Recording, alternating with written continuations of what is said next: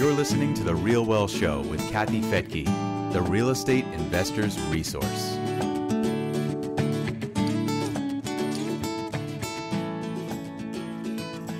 I have a very special guest today on The Real Wealth Show, someone I've followed for years as a former mortgage broker.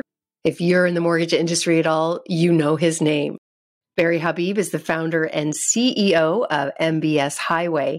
He is a housing market expert and a forecaster for mortgage rates. And I'm sure all of us would like to get a better idea of where rates are headed in 2023.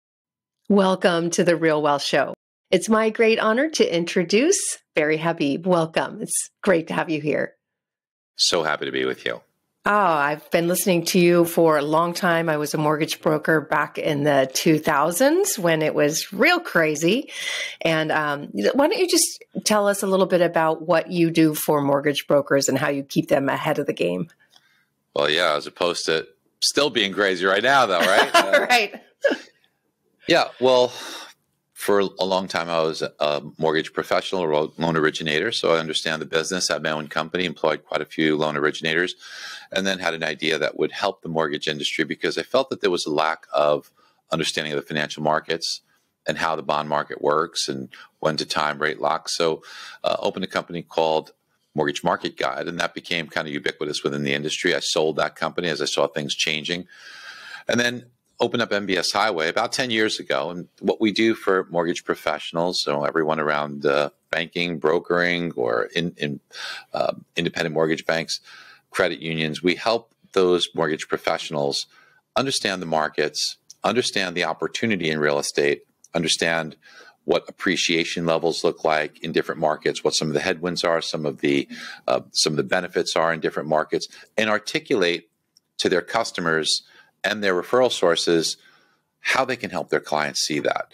Um, we also help them with rate lock decisions. And every morning we do a video show, which kind of breaks down all the news that's out there, all that craziness that you can have hours trying to dissect. We break it down in about a seven minute video, which is entertaining and fun, but also really prepares you and scripts you with a lot of knowledge for the day. Also, have acquired a company called List Reports, which does a very good job in identifying new realtor opportunities putting those together for you, uh, allowing you to see what those real estate agents are doing if they're cheating on you. So we, I'm the CEO of that as well. And then certified mortgage advisors, um, which is a certification that allows that mortgage professional really to take a leap in becoming a true professional, understanding how the bond market works, how to create wealth, uh, so many things, understanding the Fed, all the economic news and data. And it's a certification that's widely regarded within the industry. So it's a lot, it's busy. And I still do a lot of speaking out there. Yeah, well, I, and I, again, I appreciate you being here. Uh, so, one of the things I know that you do help mortgage brokers with is that rate lock. So, what is a rate lock, and how do you know when to do it? So we use a lot of different indicators to help us. Um, when when we see interest rates on mortgages move, they're predicated on the movement of mortgage-backed securities. It's not the Fed. It's not treasuries directly. There is a relationship, but not directly. It is specifically and exactly based upon the movement of mortgage backed securities. So we track the movement of mortgage backed securities, and we're very proficient in something called technical analysis and being able to chart those. There's natural ceilings and floors, and you can really get a good clue by being an expert in that area, which we do have expertise there. But also understanding some of the fundamental reasons. You know, for example, back in June of 2022, uh, while everyone was saying that rates were going to come down, inflation had peaked, we are kind of the lone voice on there. And as I went on TV and had done so many talks and speeches about the fact that we felt the summer was going to be brutal. And it's because we understood the way inflation works and the factors are going to be determining it. So that helped guide mortgage professionals in understanding, be prepared for a tough summer. But we also said back in June to circle your calendar for November 10th. I know that seems like a crazy date to pick out of thin air. We didn't pick it out of thin air. We we were very strategic because we felt by then we were going to get on that day the date the data from October's inflation. And we felt that by that time we'd see lower inflation, but also October's data for 2022 was going to replace the data from 2021. You had a very high number in 2021 in October. We felt being replaced with a lower number in 2022 would cause inflation to come down. And what mortgage rates follow is inflation. So we said it's going to be a tough summer. Circle November 10th. Rates will start to get better. And guess what happened? So we're very proud to say that it was a, an exactly correct call. Yes, rates, unfortunately, we were correct on the fact that it was a tough summer, but we were also dead on to the exact very date, four months in advance, of saying November 10th, you're going to start to see rates come down. And since then, they've come down 1%. By the way, Fed's increased rates one and a quarter, but mortgage rates have come down 1% since then. And I think they're coming down more. Well, let's talk about that. Uh, how much more? So again, mortgage rates follow inflation. So we think that you're probably going to see in the first half of this year mortgage rates around 5%. And that's going to be a really great opportunity for individuals because it's great for real estate agents, mortgage professionals, but it's really great for buyers because you're going to start to see a lot more buyers come in and the marketplace itself has still very tight inventory. There's definitely not going to be a housing bubble, and we could talk more about that. But these things are determined by supply and demand. You have very tight supply still. Demand has softened because interest rates have gone up, so people are hibernating.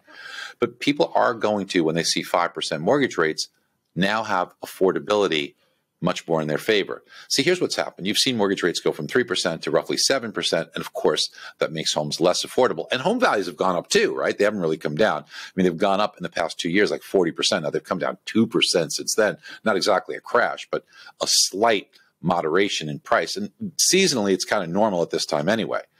But you will start to see prices reaccelerate in the spring. So think about this opportunity. Today, I can actually get a little bit of a discount.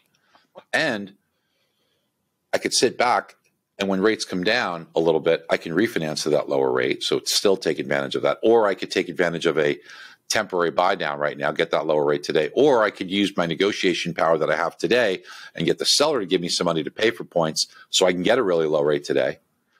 And then next year, as everybody sees the opportunity that we already see happening, they jump in the marketplace. But meanwhile, I got in a discount where everyone else will be chasing prices moving higher. I spoke with somebody just a few days ago who was sitting on a million dollars cash and not sure what to do. And he made a comment that, well, I don't want to buy something today and refi it later, like everybody's saying to do at, when, it, when rates go down. If the price, if the value of the home has also gone down because maybe I can't refi. What are your thoughts on that? Uh, the value of the home should go. I mean, look, uh, real estate is local, certainly. So uh, I can't tell you on that specific home, depending on the conditions or in that specific neighborhood, what that might be. Although in MBS Highway, we look at zip code, so we can tell you within a zip code what the forecast is. But by and large, we see low single digit appreciation numbers in the United States. So um, that means the prices won't be going down. In fact, they'll be going up. Not crazy, not 20% a year, not 10% a year. But even if prices go up low single digits, let's just pick a number and say it's 2 to 3%. If you buy a home and you put 10% down, so let's use a very simple example. I buy a $100,000 home just for argument's sake on numbers, and I put 10% down. My investment's $10,000. If that home value goes up 3%, that's a $3,000 profit. But my investment's $10,000. So a $3,000 profit on a $10,000 investment is a 30% rate of return. See, Kathy, what people have to understand is that you create wealth through real estate. And I think most people have heard that, but people don't understand how it works. And it's because of that leverage. Now, if that individual has a million dollars that they're looking to invest, what would I say to them today? I think real estate certainly is a great investment. Of course, you have to be careful and you want to make sure you buy it right. And you want to make sure that the area you're buying in is, is, is got, you know, doesn't have issues with that area. But assuming you make a good purchase, you should do very well, especially over time because there is a shortage and demographically there is just too much demand into the future and rates are going to come down. Another place I'd be is in the bond market because remember longer term rates follow inflation. So we're probably either in or headed for recession, and historically, rates always come down during recessions. Now, the function of rates coming down means bond prices go up. So, so why is that? So let's just say you can invest today in a in a mortgage bond, just to use round numbers. Well, that rate is six percent. Imagine if you're receiving six percent. If mortgage rates come down to five percent, right? Well, then your 6% looks really smart. It looks really good. You're getting a premium above market. So if you were to go to sell that into a 5% market, you'd make a very big profit on your investment. So the bond market right now, in a declining interest rate environment, is a great investment because not only do you get the yield, which is at a good level, but you also get price appreciation if we're correct and inflation comes down, which it is which means rates come down. So you win on both aspects. And I also like real estate because it creates wealth. Very interesting. Kiplinger did this uh, whole study, and you may have seen it. And last month they came out and they said if you want to be in the top 1% in net worth, or net worth is all your assets minus all your liabilities, top 1% in the country, you need a net worth of $10.8 million. Okay, so that's a big number. But to be in the top 2%, very exclusive club, you need two and a half million. And to be in the top 5%, you need a million dollars. Top 10%, $800,000. Wow. Top 10%, net worth of $800,000. And the top 50% requires $500,000 in net worth.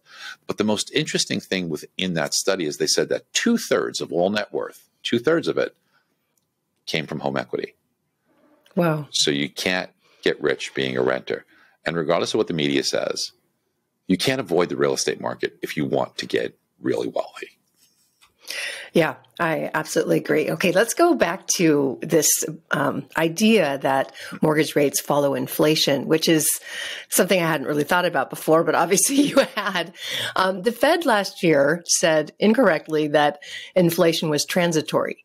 But now it kind of looks like maybe it might be. It was just transitory, as in one year of transitory. But yeah, let's let's talk about uh, why you think that inflation is going to continue to go down, and why that would then mean mortgage rates will go down this spring. I think you said. So, what is inflation? Inflation is too many dollars chasing too few products. It's that simple during the pandemic, we all experienced it when you needed toilet paper, right? So yes, too many people wanted toilet paper and there wasn't enough of it. So it's too many dollars chasing too few goods and people were paying all kinds of premiums for it, right? But everything else. But you also experienced it in real estate as too many buyers chased too little inventory and it pushed prices higher. So that's inflation. So the Fed let inflation get out of hand because they misunderstood it and they admitted that they don't understand inflation. So when you take a look at inflation, all of the stimulus that was put out there contributed to too many dollars. The Fed somehow missed that. And let's face it, government missed that too. So while they talked about we don't want inflation, they were the cause of between the Fed and you know, fiscal policy and monetary policy together. So the government and the Fed together that created inflation. And the Fed missed it because we saw inflation moving up. Now they thought it was transitory because they failed to see the effects of the stimulus. And they also thought that all of the inflation came from the fact of supply was constrained. Remember, what's inflation? Too many dollars chasing too few goods. They forgot the too many dollars part. And they said, you know what? Supply chain's broken. China's shut down. We're not getting shipments. Shelves are barren. People are paying a premium. You're paying a lot more for a car. All those things were happening. And they attributed all the inflation to that, which is why they mistakenly said it's transitory because they thought that when the supply chain got fixed, that goods prices would come down and inflation would go away. Well, they forgot the too many dollars part. So now inflation is coming down not because it was transitory. Yes, the goods part was because inventory is at their highest levels right now. So inventory is through the roof. But inventory, but inflation is coming down because what the Fed has gone out to do is destroy demand. So they're killing jobs, they're killing demand. And how does the Fed do that? When the Fed hikes rates, especially as rapidly as they had, which is a historic measure of what they've done, they make the cost of borrowing much more expensive. So, what's inflation? It's too many dollars chasing too few goods. Dollars, money, 80% of it is credit. You realize that? Isn't that crazy? So, we run on credit. So, if 80% of it is credit and the Fed makes credit more expensive, people will do less of it. So, think about it this way. Nine months ago, a family went to go buy a car and they look at this beautiful $60,000 car. They say, how much is the monthly payment? 600 bucks a month. Okay, I'll take it. Now they don't write a check. They don't spend anything. They don't pull out their credit card. They sign a piece of paper. And what happens? Somewhere at a bank, somebody makes a few keystroke entries and poof, out of thin air, $60,000 is created out of thin air. Remember, more money coming into the system. That's inflationary. So by the Fed hiking and hiking and hiking and taking that Fed funds rate four and a quarter percent higher, what has happened?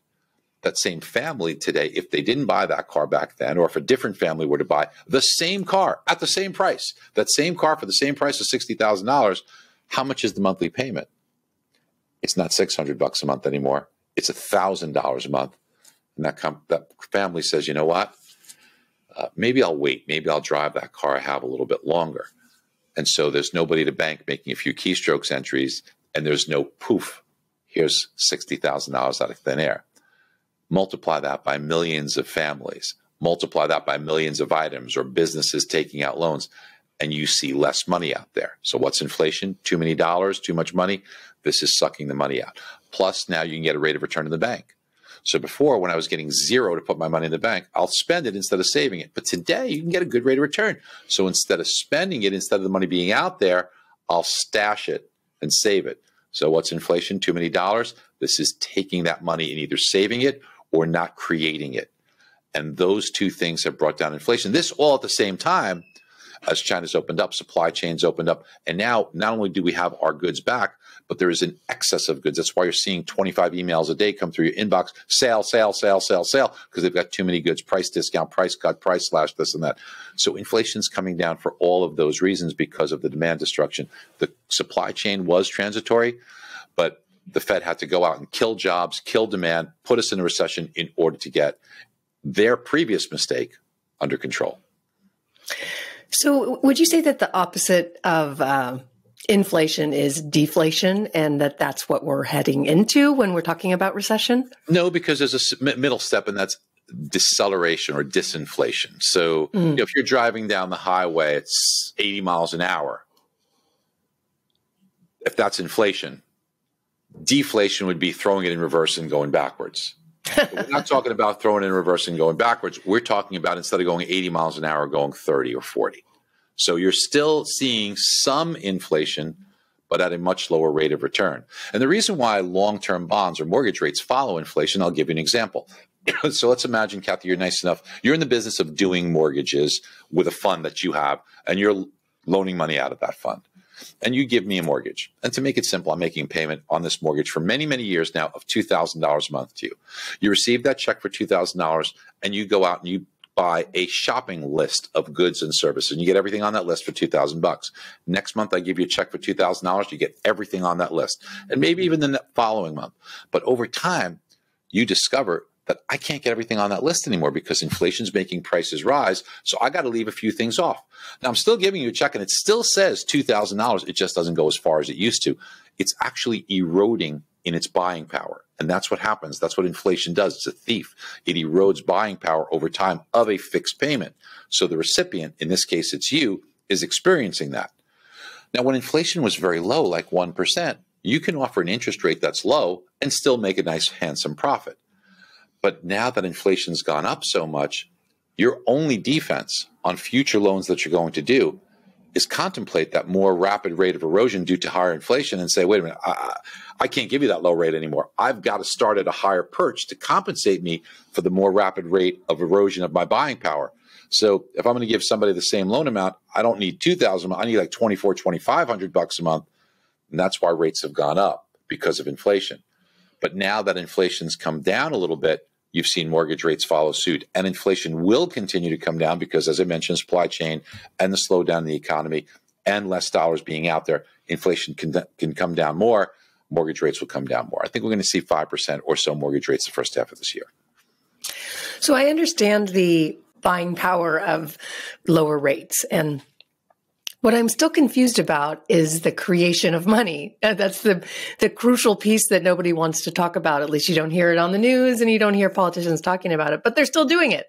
They're still creating too many dollars and talking about it right now in, in Congress. So how how does that play out in this scenario? Well, just recently there was 1.7 trillion dollars passed in the spending bill. Now, some of it we needed, but some of it was not needed. Some of it is just pork. That that's the way that Congress works. You know, everybody, you know, look, I want what's good for my local constituents, and uh, you know, I'll say inflation's bad, but I'm going to contribute to it because I want to get reelected. So it's it's an ugly system uh, that's out there because nobody wants it to be okay. I'll be the one to sacrifice to contribute to the good of lower inflation. Uh, it's a headwind because that does put more money in the system and more money in the system is inflationary. So the consequence of it is the Fed keeps having to pound higher rates to overcome that and destroy demand further. And eventually what always happens is you have these boom and bust cycles because then the Fed has to go too far and they do it until something breaks. And when we see something break, the economy breaks, you have a recession, unemployment goes up, people have less money to buy to buy things with and the cost of buying is too high and the lure of savings becomes attractive so people do that and you just see that slow down in the economy and that brings rates down fortunately housing does well during recessions because housing is something that benefits from those lower rates. So these are you know, these are just the way the economy works. And you hit the nail on the head, Kathy. You're right. The, the, the politicians don't, they'll talk a good game, but they don't seem to really understand the problem with the additional stimulus that's out there that is contrary to what the Fed's trying to do. And you have these two forces opposing each other. The reason we had so much inflation is because you have the two of them pushing, you know, the Fed lowering rates, making monetary policy easy. At the same time, we have the government doing stimulus is a recipe for what you're experiencing now. Yeah, and no end in sight, apparently. Well, we do. I do, Kathy. I do see. I do see an end in sight in in the fact that we will see uh, inflation subside. We're probably not going to get down to those low low levels, but it will subside, and rates will come down, and housing will be okay, and recessions will pass. You know, we'll go through a period, and people will lose some jobs, and things will slow down, but then the economic cycle will improve. So, uh, you know, th- this, these we, have seen these so many times. It's it's cyclical. So, um, we're just in a season right now that um, is going to cause rates to move lower, the economy to move slower, uh, unfortunately, unemployment to go a little higher. Um, but then things will will come back, and we will go through a period of growth again. Spring will come around once again. So the word recession is really scary to a lot of people. And there have been some, uh, there was a bad one not that long ago, 12, 13 years ago. People still remember that. And um, so when they hear the word recession, it's, it's terrifying. Uh, where do you, where do you see us headed in that regard? So I think the recessions tend to mirror the expansions. And the expansion that we had was relatively shallow, so I don't think the recession will be either long lived or very deep. There are events that are unforeseen that can come up, which can either make things worse or better. So we don't know that. You know, nobody saw this Russia Ukraine coming out of, the, of, of left field. You know, so uh, things can happen. Nobody saw the pandemic happening. You know, three months before the pandemic hit, nobody knew that we were going to be in this life was going to change, right? So these events can happen and upset the apple cart dramatically.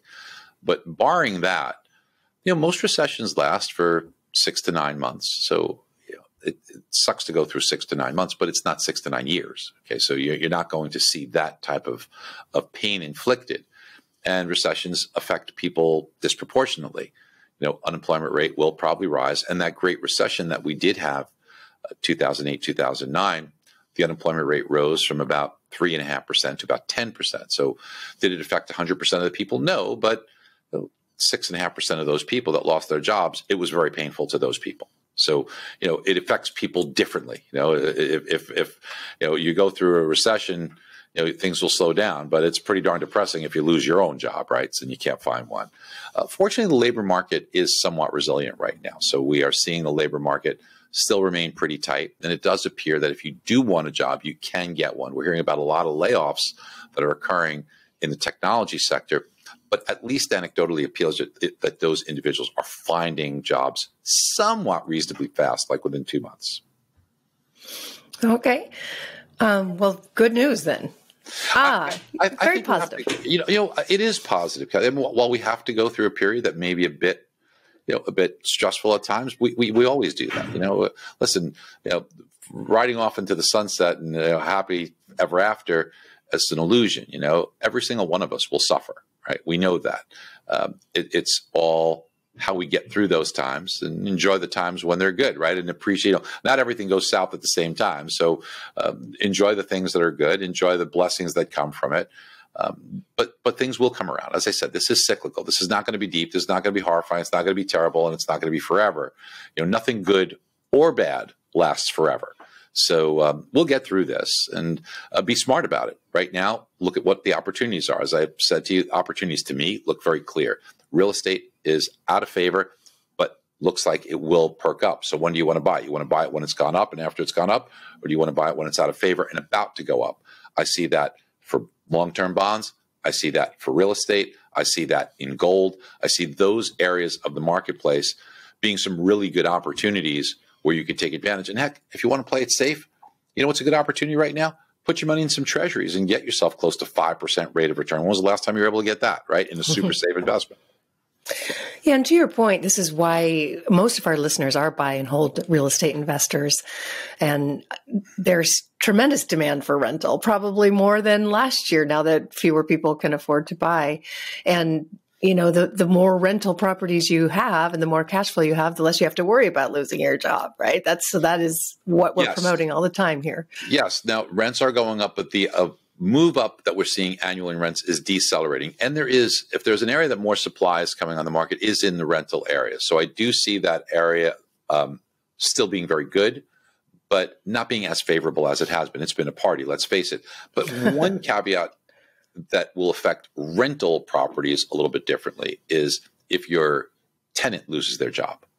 Mm-hmm. That's something that you need to be cognizant of. So, um, if you do get into recession while real estate value should hold up as a homeowner, as an investor renting properties, that may be a little bit of a headwind for you. Again, it won't be forever, but I, you know, I, I like people to know. I, I, love rental properties. I think it's a great, great, great, great investment over the long term.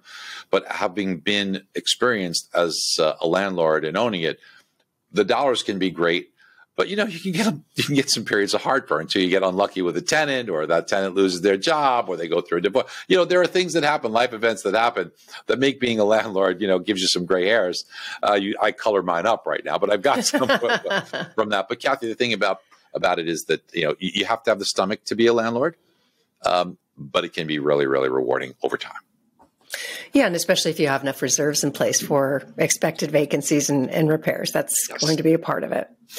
Okay, very good. Well, the Fed has said that they're going to keep raising rates this year to slow things down. Do you think they're fibbing, or do you think they're really going to do that? I think they believe in their hearts they're going to do so. But if the economy really starts to slow down, they'll have to take their foot off the neck of the economy. It appears to me that uh, uh, they're at their next Fed meeting, which will be February 1st. Uh, they, they will probably, my guess, my guess is they hike a quarter. Maybe it's a half, but something in that range. I think a quarter would probably be more commensurate. A lot's going to depend on the inflation numbers that we get that are coming out. You know, as we record this, there's an inflation number coming out, which will be tomorrow. Uh, that's going to be very, very informative to the Fed as to what they should do. And uh, if we see a larger than expected drop in inflation, the core rate of CPI goes to let's say 5.6%. I think that the, they can't go more than a quarter percent hike. Uh, but if inflation remains a little more persistent, then they might go with a half a percent hike. But they are slowing down. And then mid March may very well be the last Fed rate hike uh, that we see in the cycle. And then I don't think they go to cutting. I think they go to pause and let's wait and see because they don't want to run the economy off the cliff. Uh, they've already gone too far, in my opinion. Um, but, uh, you know, Jerome Powell has a lot of egg on his face, as do all of these Fed members. They've done a horrible job. And I think they're embarrassed at how inept they've been. So, unfortunately, these are not robots, they're human beings. And right now, Jerome Powell's legacy will be one of his tombstone will read one of the worst Fed chairs that we've ever had in history. so that's his legacy right now. Right? He's one of the worst. He's right up there with Arthur Burns. You know, just these are embarrassing names, and he's up there with them. And he doesn't want that because he's a human being. You know, who wants that? Who wants your kids to think that you were the worst Fed chair ever? You know, they want they want to be proud of their dad. Right now, they're all embarrassed of him. And I believe that he is very determined to not. If he's going to make a mistake, it's going to be let's crash the economy as opposed to letting inflation get out of hand twice. So, unfortunately, because he's a human being and he has an ego, and emotion, and feelings like the rest of us do, he will likely go too far in pushing the economy down than what he really should be doing. Have, you, here's the analogy the Fed is setting policy by what their actions are that take time to ripple through the economy. It may take three or so months. So it's like kind of driving down the road and looking three months ahead is where you should be looking, or let's say a mile down the road. That's the way a good driver drives, by the way. I learned that when I, you know, I like to race cars and you, you don't look at the car in front of you, you look down the road. But the Fed's not just doing that. The Fed's looking in the rearview mirror while they're driving. Mm. Imagine going 60 miles an hour, 80 miles an hour down the road, but only looking in the rearview mirror. What typically could happen? It's not good. You can probably crash. And that's why the Fed crashes the economy every time because they make decisions that will come into play three months from now based upon data that's averaging for the past year. It's not in real time. They're looking at the CPI data includes data from December of 2021 2021, you know, January of 2022, March of 2020. It includes some real time data, But the most real time data they have right now, as we speak, is from November of 2022, and it's equal in weight as December of 2021. There is no bias towards here's what's happening in real time. They're weighting it from data a year ago as well. And that's why they're always slow to, it's why they missed inflation because inflation was skyrocketing in real time, but they were weighting it against the data from 2020 when we were in the throes of a pandemic shutdown. That's mm. why hmm. they missed it. well, I hope uh, artificial intelligence comes in and gives them some some support. You know what? You know what it is, Kathy. It's experience, and yeah. unfortunately, the Fed has little to zero real world experience, not a lemonade stand, not a newspaper route, and certainly not a job like you and I have to hold down. These have been people that have been in the shelters of academia or government their entire lives. Mm-hmm. And that is why they cannot understand or relate to how you have to anticipate where the puck is going. They're always skating to where the puck was. Well, all right. So, any last um, bit of advice for our listeners who, again, are trying to decide is this the time to buy real estate or not? So, every opportunity comes out of chaos. The greatest investor of all time, don't listen to me, listen to the greatest investor of all time. And, and that, in my humble opinion, is Sir John Templeton. And he said, the time of maximum pessimism is the best time to buy. And if you're a Warren Buffett fan, he said you want to be greedy when others are fearful. I think those circumstances exist right now around the bond market and around the housing market. I think this is a really good time to be a buyer. You want to buy assets when they're out of favor. You don't want to buy them at the top. This is the time of the, the, the best time to sell is during euphoria, right? So euphoric times are, you know, usually when you, you know, when, when you, when the bond market was, you know, a half a percent on the uh, yield on the 10 year treasury, this, time of euphoria is probably the time to sell you know, when the S and P was at 4,800, probably a time to take chips off the table. When Bitcoin was at 67,000, was euphoric. You know, when tulips were mania, that was probably the time to sell. Okay, so uh, you, you have to think about how do I create opportunity? Fundamentally, what are the circumstances? Well, in the bond market, rates are going to come down because inflation's coming down. That will drive bond prices up. You want to do it before it happens, not after it's happened. That's now. Real estate, it's a tight inventory environment. You have more buyers than you have property, but buyers are hibernating. Why? Because they're waiting for rates to come down, because that will change the affordability picture. Well, if inflation's coming down, causing bond prices to improve, causing rates to come down, then you're going to unleash a horde of buyers. So when do I want to get in? I don't want to get in after it's happened and prices have gone up. I want to do it now while it's out of favor so I get a discount and then juice my returns because I've seen greater returns happen. And the masses get this wrong every single time. You always do the opposite of the herd mentality. Yep. do the op- that's the that will end on that. Do the opposite of the herd mentality. All right, Barry, thank you so much for being here on the Real Wealth Show. I really appreciate all your insights. Thank you. It's a privilege to be with you. You do such a great job and I appreciate you. And thank you for joining me here on the Real Wealth Show. Barry just summed up exactly why I launched my single family rental fund. I just can't imagine a better time to be buying properties right now. We're getting incredible deals. I think I've mentioned uh, about $120,000 in acquisition, about twenty to $30,000 in renovation. And these properties are valued around $200,000, $220,000 because we're just not seeing the competition. All of that equity is going back into the fund to buy more properties and to grow wealth for our investors. So if you want to find out more about our single family rental fund, it is for accredited investors only because of SEC law. Uh, but you can find out more at growdevelopments.com. That's G R O W, growdevelopments.com.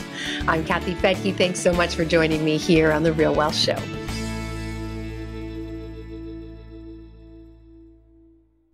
Views and opinions expressed in this podcast are provided for informational purposes only and should not be construed as an offer to buy or sell any securities or to make or consider any investment or course of action. For more information, go to realwealthshow.com.